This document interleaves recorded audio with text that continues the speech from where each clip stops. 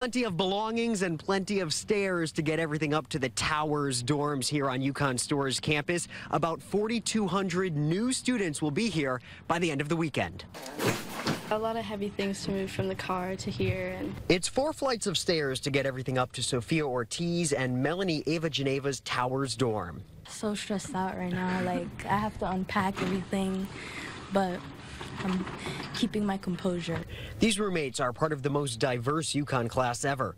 Nearly 50% are people of color from 43 states and 92 countries. College is where you make those connections, you meet those lifelong friends. Alfred Chow Yen is helping his daughter, Eileen, move in.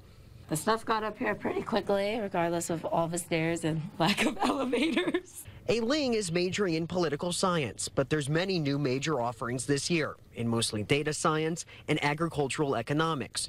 Also this year, students are learning at a time when ChatGPT and AI is much more common. I think it's very efficient if you use it in the right ways. Like if you're not like plagiarizing from it, because you know, teachers do know.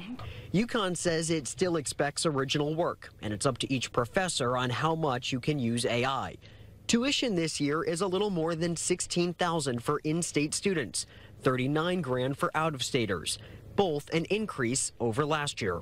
She most worries about the money because it's very, very expensive.